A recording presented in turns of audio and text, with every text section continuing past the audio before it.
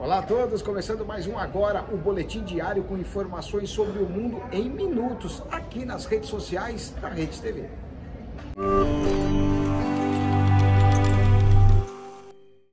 A farmacêutica Pfizer acusou uma ex-funcionária de roubar documentos secretos, inclusive alguns relacionados à vacina contra a Covid-19 dos computadores da empresa.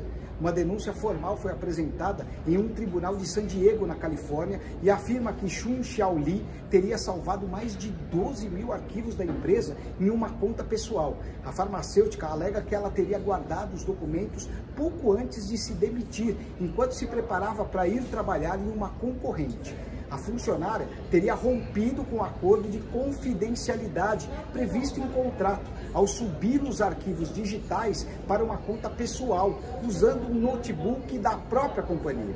Segundo a acusação, Chun teria mentido, entregado um computador que não era o que usava regularmente para a equipe de tecnologia da empresa que investigava o vazamento um juiz federal concedeu à farmacêutica uma ordem restritiva contra a ex-funcionária e ordenou que Chum não compartilhe nem destrua os arquivos roubados.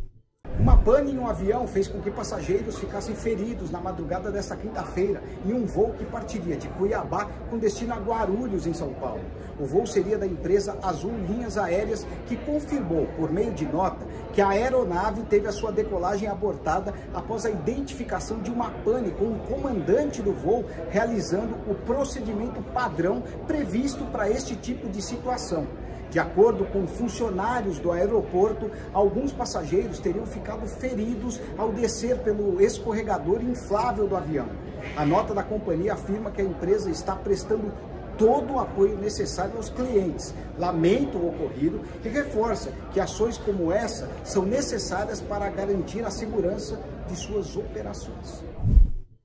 Atenção aos fãs de futebol, a Comebol anunciou que não vai mais ter o critério do gol fora de casa em suas competições.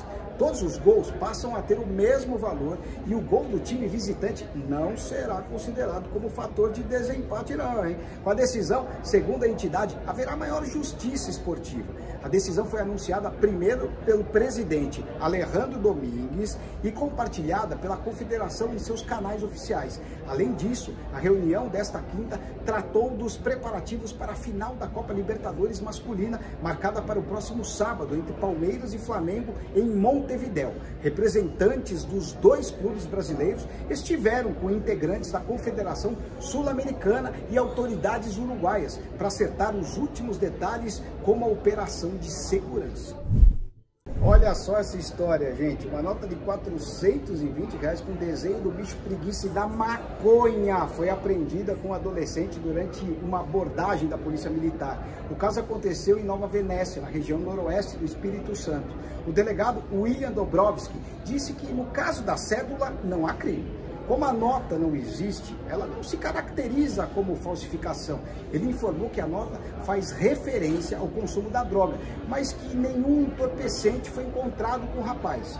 O jovem foi liberado e o caso é encaminhado ao Ministério Público Estadual do Espírito Santo. Essa não é a primeira vez que isso acontece. Em Minas Gerais, um idoso de 75 anos recebeu uma nota falsa de 420 reais como pagamento de um empréstimo. Como a dívida era de 100 reais, o homem devolveu 320 de troco ao golpista.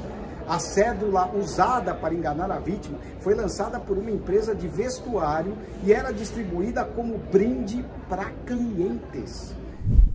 Ficamos por aqui, acompanhe o boletim agora ao longo do dia com mais atualizações. Até mais. Música